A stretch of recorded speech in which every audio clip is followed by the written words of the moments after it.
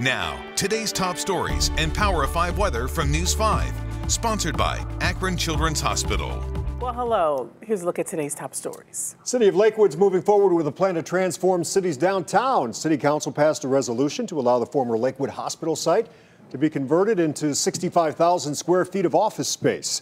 The old hospital's at the corner of Belle and Detroit. The developers and the planning committee have agreed on a 15-year, 100% tax abatement, and we're told construction could start as early as next year.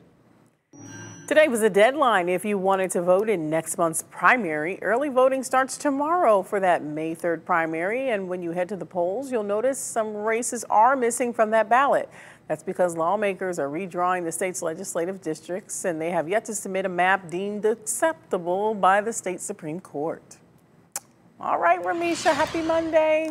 Happy Monday and happy wet week ahead. We've got several rounds of rain headed our way. We're getting a break for tonight, but I think by tomorrow we've got more rain rolling in, but most of you staying dry tonight, just a very slim chance for maybe a few sprinkles, brief rain shower.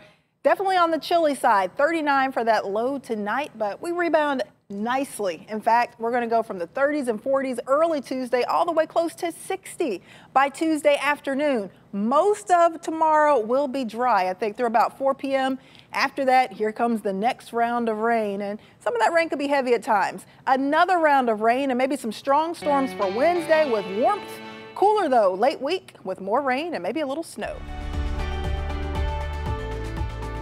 Sponsored by Akron Children's Hospital.